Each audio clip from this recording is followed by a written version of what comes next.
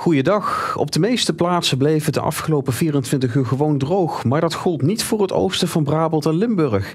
Daar vielen afgelopen nacht en vanochtend vroeg namelijk een paar stevige buien, zelfs met onweer.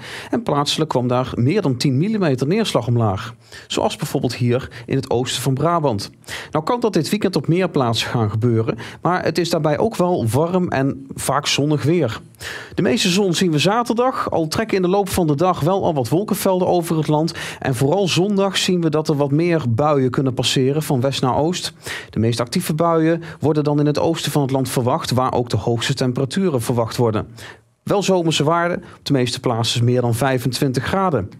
Dat geldt ook voor morgen, zaterdag dus, de beste dag van het weekend.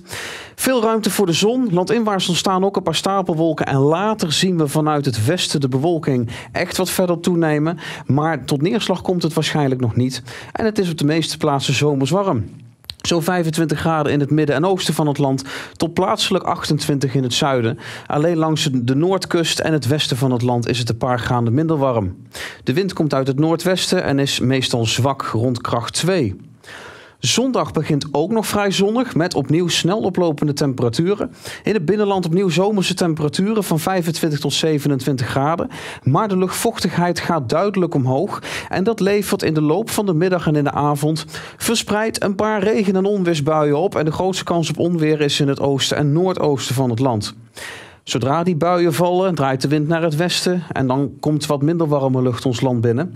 En dat zien we ook de dagen daarna. Temperaturen meestal rond 24 of 25 graden. Op maandag kan er nog een bui vallen. De dagen daarna verlopen, overwegend droog. En langzaamaan wordt het dan weer wat warmer, tot een graad of 26 op de woensdag. In het zuiden van het land kan het dan misschien wel op een enkele plaats richting de 30 gaan. Kijken we nog wat verder, dan zien we dat de temperaturen na woensdag, donderdag langzaam wat omlaag gaan. De wind draait dan waarschijnlijk toch weer naar een noordelijke richting. Overdag dan temperaturen van een graad of 22 en s'nachts mogelijk rond een graad of 10. Qua neerslag verandert er niet zoveel. Begin van de week kan er dus een enkele bui vallen en dat houdt eigenlijk de rest van de week aan met af en toe een regen- of onweersbui, maar verder toch ook wel veel ruimte voor de zon. Ik wens u een goed weekend.